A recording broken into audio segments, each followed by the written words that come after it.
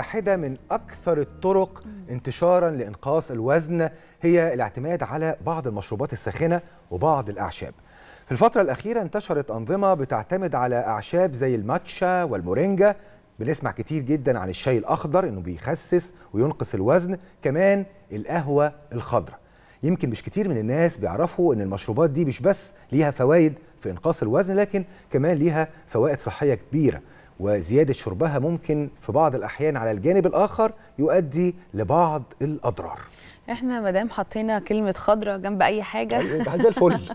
خضراء كده. شاي أخضر اديني أخضر على طول.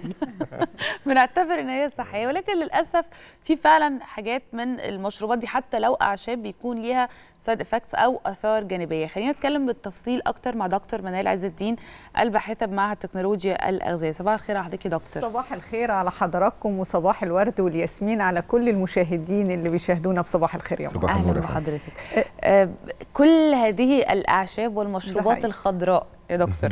هل بالفعل ليها دور في التخسيس؟ وهل ليها آثار جانبية ولا لا؟ لأن إحنا بالنسبة لنا مجرد وجود مصطلح أخضر يعني ده حقيقي. حاجة آه، صحية جدا وآمنة.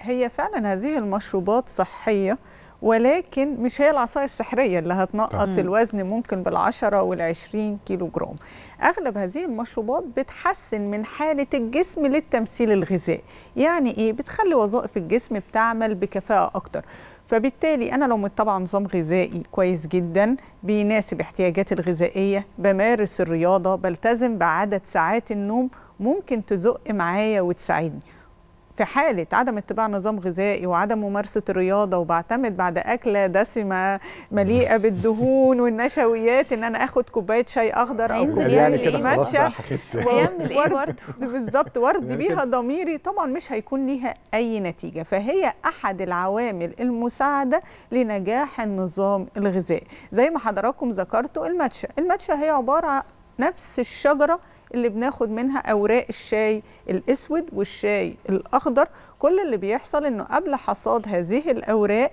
بيغطوا الشجرة لمدة 20 يوم قبل الحصاد بحيث إن نسبة الكلوروفيل تزيد فيها أكتر فبالتالي مضادات الأكسدة فيها تكون بنسبة أكتر. هي الماتشا من الحاجات الصحية اللي بتحسن التمثيل الغذائي بتقلل امتصاص الدهون والنشويات ولكن هي ليست العصاية السحرية. هو مشروب صحي لصحة القلب بيحسن من وظائف المخ والتركيز ليه جوانب صحية وإيجابية كتيرة عندنا الشاي الأخضر وكتير جدا من المصريين هعمل دايت يبقى على طول. الشاي الأخضر ويبقى سعيد وهو بيتناول الشاي الأخضر. الشاي الأخضر من المشروبات اللي بتحتوي على مضادات أكسدة برضو بيحتوي على العديد من ال antioxidant زي البلوف البلوف الفلافينويد وغيرها اللي بتقوي وتدعم الجهاز المناعي. ولكن هو برضو في نسبة من الكافيين اللي بتساعد على التركيز والنشاط. كثرة تناول الشاي الأخضر بقى طول ما أنا قاعدة أشرب شاي أخضر ست وسبع مرات ده شيء غير صحي لأن وجود الكافيين هو مضر للبول. فبالتالي بيخلص الجسم من كميات مية كبيرة مع كثرة الاستخدام. جفاف. بالظبط هيجي لي جفاف. هو حلو إن هو ما فيهوش كمية الكافيين زي الشاي الأسود أقل منها ولكن مع كثرة الاستخدام ممكن يعمل لي مشاكل صحية. المورينجا والمورينجا على فكرة يعني عشبة قديمة جميع الحضارات القديمة حول العالم استخدمتها.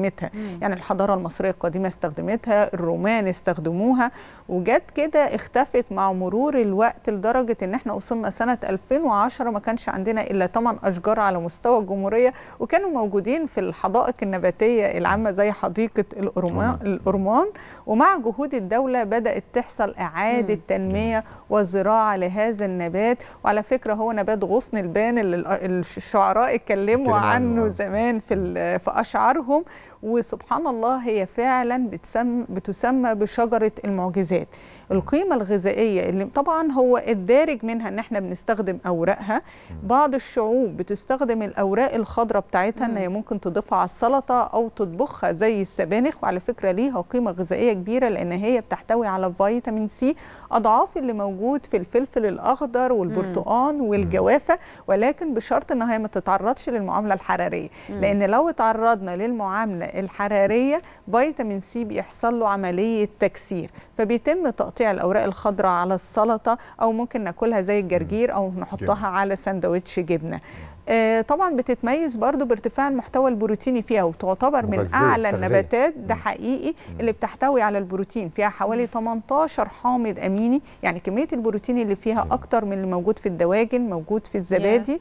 بتحتوي على البوتاسيوم وطالما ذكرنا البوتاسيوم يعني بنتكلم في التركيز في. زيادة التحصيل الدراسي بكلم مريض ضغط الدم المرتفع بقول له بتنظم مستوى ضغط ضغط. الدم المرتفع في جسمك ونصيحتنا دايما لمريض ضغط الدم المنخفض إنه ما يكترش من تناول المورينجا مورينجا. لأن دي. إحدى الفئات اللي هي لازم تاخد بالها وهي بتتناول المورينجا. كمان بتتميز بوجود فيتامين A فيها أضعاف اللي موجود في الجزر مفيدة لصحة القلب والدورة الدموية ومفيدة لصحة الكبد وكمان مفيدة لصحة الجهاز الهضمي. جميل. إحنا بنشتريها من العطار أو موجودة في السوبر ماركت في صورة packet للشاي ممكن بيتم تجفيف هذه الأوراق. وده وب- بيبقى بنفس القيمة الغذائية لو في packet أو في بنشتريها من المجففه آه، هو هي المجفف ده بقى ما فيهوش فيتامين C. مم. يعني الخضرة فيها فيتامين. C بالظبط ولكن هو ال- الأوراق الخضراء مش دارجة قوي عندنا في الأسواق لسه فالمجفف هو اللي موجود. نقدر إن إحنا نشربها كشاي زي الشاي بالظبط. ممكن كمان لو جبت هذا المستخلص من عند العطار سايب أو المسحوق مجفف ممكن يضاف للمخبوزات ممكن يضاف مم. لبعض الأكلات لطبق السلطة حتى وهو جاف لأنه فعلا قيمته الغذائية عالية جدا. حضرتك كلمتينا عن الماتشا والمورينجا والشاي الأخضر. ده حقيقي. وهنتكلم كمان مع حضرتك كمان شوية عن القهوة الخضراء لأنه زي ما في ناس كيفة شاي زي ما بيقولوا كده وعشاق للشاي في ناس بيحبوا القهوة بس أنا ما أعرفش إزاي القهوة الخضراء دي. يعني برضو عايزين نفهمها من حضرتك القهوة الخضراء وإزاي ممكن تسبب مثلا أو تساعدنا في نظام دايت أو في نظام آه، رجيم غذائي. يعني طيب دكتور خلينا. برضو في نفس يمكن الأعشاب اللي حضرتك ذكرتيها ليها أي آثار جانبية ولا لأ؟ بالنسبة للمورينجا مريض ضغط الدم المنخفض ما يكسرش من تناولها الحوامل لأنها بتسبب انقباضات للرحم مريض الكلى لأنها مدرة للبول فممكن بتنقص مستوى المية في الجسم. والحوار مستمر مع دكتور منال عز الدين الباحثة بمعهد تكنولوجيا الأغذية بنتكلم عن الأعشاب ودورها في الدايت وإنقاص الوزن. اتكلمنا. من شوية قبل الموجز عن الشاي الأخضر والمورينجا. والماتشا. وكنت بسأل حضرتك قبل الموجز عن القهوة الخضراء إيه قصة القهوة الخضراء القهوة الخضراء هي نفس القهوة العادية ولكن ما بتتحمص. فده بيخليها تحتفظ بمضادات الأكسدة وبتحتفظ بنسبة أعلى من الفيتامينات. قيمتها الغذائية بتكون أكتر لأنها ما تعرضتش لدرجات الحرارة المرتفعة اللي بتصاحب البن التاني أو القهوة التانية أثناء عملية التحميص. بتتميز القهوة الخضراء إن هي بترفع من كفاءة التمثيل الغذائي لأنها بتحتوي على حامض الكلوروجينيك. الكلوروجينيك بيقلل من امتصاص النشويات وبيقلل من امتصاص الدهون في الأمعاء. كمان القهوة الخضراء بتدينا شعور شوية بسد الشهية وشعور بالشبع لفترات طويلة. هي طبعا مفيدة لصحة القلب مفيدة للأشخاص اللي بيعانوا من الكبد الدهني بتقلل من نسبة الدهون نتيجة وجود حامض الكلوروجينيك اللي بيقلل من امتصاص الدهون. ولكن برضه هي بتحتوي على الكافيين اللي بيدينا نشاط وبيدينا يقظة وتركيز ولكن برضو الإكثار منها على مدار اليوم ده شيء مش صحي. كل المشروبات اللي إحنا ذكرناها الماتشا المورينجا الشاي الأخضر القهوة الخضراء الإكثار منها على مدار اليوم ممكن يعرضنا لحدوث الجفاف بسبب إن هي مضرة للبول. إضافة السكر ليها أثناء إعدادها بكميات كبيرة ده بيجيب عكس النتيجة. المنتظرة منها لأنها بترفع معدل السكر في الجسم. كمان ممكن كثرة استهلاكها لأن هي من الحاجات اللي بتعتبر مفيدة للجهاز الهضمي بتمنع حدوث الإمساك فممكن مع كثرة الاستخدام لفترات طويلة تسبب حالة من الإسهال المزمن. فلا إفراط ولا تفريط في استخدام هذه المشروبات. هذه المشروبات كلها بتتميز بارتفاع ال polyphenols الموجودة فيها بتتميز بارتفاع مضادات الأكسدة اللي بتدعم الجهاز المناعي وبتحارب الشيخوخة وبتقلل من فرص الإصابة بالسرطان. كمان هذه الأعشاب الخضراء زي ما ذكرنا بتحتوي على الفيتامينات في حالة استخدامها بالصورة ال fresh ده بيكون. أفضل ولكن الموجود عندنا طبعا هي الصورة الجافة آه، بلاش نقعد نغلي هذه الأعشاب لفترات طويلة يعني برضو لأن بيفضل إن إحنا بنكون غاليين المية وبعد كده بنضيفها ونغطيها لفترة بحيث إن زيوت الطيارة اللي موجودة فيها تكون اتشبعت مع المية وأقدر أتناولها. بعد كده بتقدر تجيب نتيجة يعني إيجابية ولكن هي ليست العصاية السحرية ودي دا دايما باكده على السادة المشاهدين لازم النظام الغذائي السليم الاهتمام بعدد ساعات النوم ممارسة الرياضة شرب المية. وعايزة أذكر شرب المية مهم جدا مع هذه المشروبات.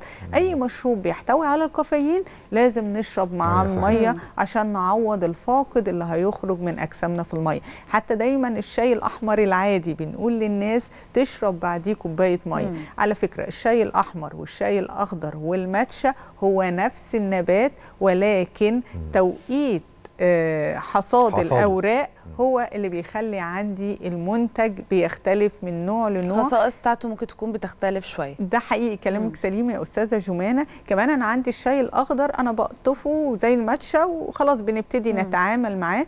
الشاي الأحمر اللي بيحصل إن إحنا بنعرضه لمعاملات حرارية مم. بيتعرض للأكسدة لدرجات الحرارة المرتفعة فبيفقد كمية كبيرة جدا من مضادات الأكسدة. وعملية التحميص دي على فكرة بتزود نسبة الكافيين في القهوة العادية وفي الشاي الأحمر بتزداد فيهم نسبة الكافيين ولكن كلهم بيتفقوا زي ما قلت لحضراتكم إن هم بيرفعوا من كفاءة التمثيل الغذائي في اجسامنا طيب دكتور للأسف بقينا بنشوف بعض الأنظمة الغذائية الغريبة جدا عن المتعارف عليه في الدايت. يعني معروف إنه ممكن في نظام غذائي حد عايز يخس ممكن يقلل شوية الكربوهيدرات أو صحيح. النشويات ممكن يقلل شوية الدهون ولكن بيبقى نظام غذائي متكامل. صحيح. مؤخرا بقينا بنشوف أنظمة غذائية بتعتمد يا على فاكهة بس يا إما على مشروبات بس يا إما حتى على زي الكيتو مثلا بتعتمد على الدهون بس. ده حقيقي. يعني عايزه أعرف من حضرتك خطورة أو يمكن مدى فعالية هذه الأنظمة الغذائية ده اللي هنعرفه من حضرتك. اولا هذه الأنظمة الغذائية ما ينفعش أي شخص يلتزم بيها ويتبعها لأن الكيتو لما اتحط فكان لمرضى الصرع في بداية الأمر. مم. لما نيجي نطبق الكيتو اللي بيحتوي على نسبة دهون مرتفعة على مريض قلب على مريض كوليسترول لا ده بيضيع الدنيا. طب. طبعا لأن في نسبة دهون عالية جدا. مريض كبد دهني برضه بيضيع الدنيا. فهذه الأنظمة إحنا ما بننصحش باستخدامها واللي حابب يستخدمها لازم يكون تحت إشراف طبي ويكون شخص سليم زي اللي هيخش الكليات العسكرية. بالظبط كده يكون وظائف جسمه سليمة لا يعاني من أمراض ما بيعانيش من سكر ولا ارتفاع في ضغط الدم. مهم جدا برضو إن النظام الغذائي عندي يكون متنوع. في الخضار في الفاكهة في النشويات في البروتين في اللبن في المية. مهم جدا أفضل الأنظمة الغذائية مؤخرا اللي أثبتت نجاحها وبأكد برضو اللي يلتزم بيها يكون شخص سليم لا يعاني من ارتفاع ضغط الدم ولا أمراض القلب ولا السكر الصيام المتقطع مم. لأن الشخص بيمتنع عن الطعام لفترات وهو على فكرة جاية فكرته من الصيام رمضان. لأن صيام رمضان طبعا الأبحاث العلمية كلها حول العالم أثبتت إن ليه فوائد صحية صحيح. عديدة فجي منه الصيام المتقطع ولكن بيختلف عن صيام رمضان إن إحنا ممكن نتناول مشروبات, مشروبات. بدون سكر. على مدار اليوم. مم. فالنظام الغذائي اللي أنا نصيحتي دايما النظام الغذائي اللي فيه حوالي خمس وجبات يعني ثلاث وجبات رئيسية ووجبتين بينيتين نقلل من كمية السكر. يعني كل ما السكر على فكرة ده كارثة كبيرة جدا مم. لأن معلقة السكر الواحدة بتديني 20 سعر حراري يعني إحنا عندنا بعض الناس في المشروبات زي الشاي أو القهوة بيشربها سكر زياده أربع معالق وخمس ممكن معالق. أربع معالق خمس معالق مع زيادة عدد مرات على مدار اليوم ممكن بيصل لربع كيلو سكر بس دخل في جسمنا. وإحنا يعني لطاف قوي كمصريين طول ما أنا ما عنديش مرض السكر فأنا بتعامل مع السكر بكل ود وكل حب. ببتدي أقلق بقى لما ي... لا قدر الله يجي لي مرض بتحصل المشكلة وعاوزه أقول إن مشكلة السكر مش في الإصابة بس بمرض السكر لأن مرض السكر بيزود نسبة الالتهابات في الجسم بيعمل تكيسات مبايض للسيدات بيسبب السمنة بيسبب مقاومة الأنسولين بيسبب الإصابة بالسكر. فنصيحتي دايما للسادة المشاهدين نقلل بقدر المستطاع من السكر هنلاقي إنه بيفرق معانا على الميزان مع الالتزام بالنشويات. النشويات مهمة لأنها مصدر للطاقة وأنا جسمي محتاج طاقة. طب. ما أنا مش هعيش طول النهار على السوائل والخضار والفاكهة. مهمين هيمدوا الجسم بالمعادن والعناصر المعدنية وطول الوقت أنا قاعد تعبان ما عنديش قدرة على العمل وهبطان. فمثلا هنقول نظام غذائي سريع كده للسادة المشاهدين يعني وجبة الفطار أهم حاجة العيش البلدي لأنه فيه ألياف فبتدينا شعور بالشبع لفترات فترات طويلة. نص رغيف بلدي معاه مثلا جبنة قريش عليها طماطم وخضار والجبنة القريش من الحاجات المرتفعة جدا آه. في نسبة البروتين. ممكن اليوم التاني يكون أربع خمس معالق فول. البيض الحاجات الكويسة جدا البليلة من الحاجات الكويسة دي كلها اختيارات مش. كل. الواحد لسه ما موجود فطرش في الحاجات الجميله وانت بتقولي. مش كل ده يكون موجود على. مائدة واحدة. وجود الخضروات مش لازم طبق السلطة الخاص. الجرجير الحاجات دي كلها مهمة جدا مهم. جدا شرب المية مفيش مشكلة لو خدت بين الفطار والغدا ثمرة فاكهة كوباية زبادي كوباية لبن رايب مفيش مشكلة. الغدا عندنا يا ريت نبتدي بالترتيب اللي هقوله طبق الشوربة لو في شوربة يليه طبق السلطة يليه البروتين. هنلاقي نفسنا ما بناكلش رز ومكرونة وعيش في النهاية بكميات مم. كبيرة. والعشاء كوباية زبادي مع ثمرة خيار يا- هتكون حاجة كويسة يا رب نعرف نعمل الحاجات دي. يا رب نعرف نعمل. الحاجات دي ونتعشى زبادي ممارسة. وطبق سلطة. نشكرك شكرا جزيلا على كل المعلومات دي. وزي ما حضرتك قلتي هي مش العصا السحرية. يعني ما ينفعش. أفضل طول اليوم أشرب شاي أخضر على أساس إنه هي ممكن تخليني آه، تخسس وزني. ما هيش العصا السحرية لازم حقيقي. التزم بنظام غذائي متكامل. العناصر زي ما حضرتك قلتي. بشكرك شكرا جزيلا. يا دايما. بتنورينا وبتشرفينا وبتفيدينا كده بالمعلومات. دكتور منال عز الدين الباحثة بمعهد تكنولوجيا الأغذية. صباح الخير على حضرتك. صباح النور على. حضراتكم. بسعد دايما بلقائكم في صباح الخير يا مصر. إحنا أسعد. ميرسي لحضرتك. أهلا وسهلا.